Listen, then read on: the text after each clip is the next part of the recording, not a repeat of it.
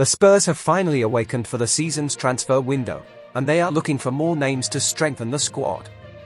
The agent of a Dutch defender who plays for Inter Milan landed in London and stirred up the Tottenham board. Hello Tottenham fans. In order not to miss any of the first news that we always bring to you, subscribe to our channel now. Agent Rafaela Pimenta, who represents an Inter Milan player, has reportedly landed in London in a surprise visit amid rumours that Tottenham are interested in signing the Inter Milan right-back. According to FC Inter News, the athlete's representative is in the English capital, with the report stating that there could be a chance that Pimenta might meet with Tottenham to discuss a potential deal for the player, as a reinforcement of the defensive sector, with Spurs being heavily linked with the athlete.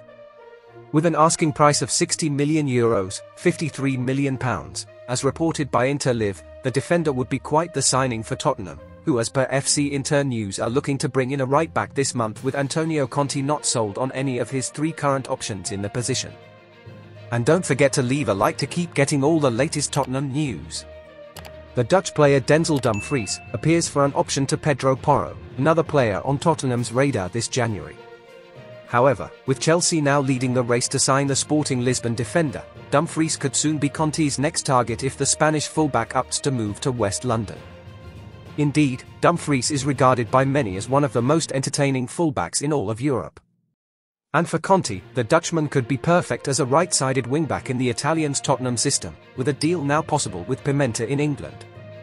Whilst it's not confirmed yet if Dumfries' agent will meet with Tottenham or any other English clubs, the fact Pimenta is in London is a telling sign that a transfer might be in the works, with the 26-year-old a perfect player for Conte and for the Italians' right-sided problems. Tottenham's current priority is clearly Porro, with Spurs currently in talks with Sporting to strike a deal with the 23-year-old defender. However, Dumfries could arguably be an even better right-back option for Conte given how adventurous and dynamic the Inter star is.